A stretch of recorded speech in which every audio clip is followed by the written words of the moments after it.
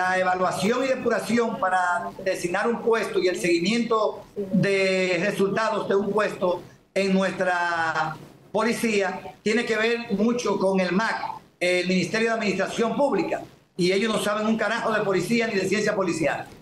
La mayoría de los miembros de la reforma eh, son personas notables, prestigiosas, pero tampoco saben un carajo de policía. Los que están trabajando en educación de la transformación del cuerpo policial para convertirlo en una policía eficiente, tampoco saben un carajo de policía. Entonces, hay un problema.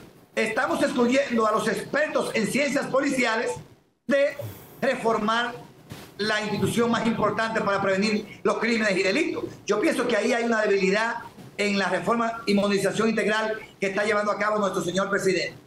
Yo con responsabilidad puedo decir que todo lo que he propuesto se lo he entregado al presidente, se lo he entregado a los jefes policiales, al Ministerio de Interior, pero lamentablemente eh, hay eh, dificultades para aceptar esto de parte de los que desconocen eh, la realidad interna de nuestra policía.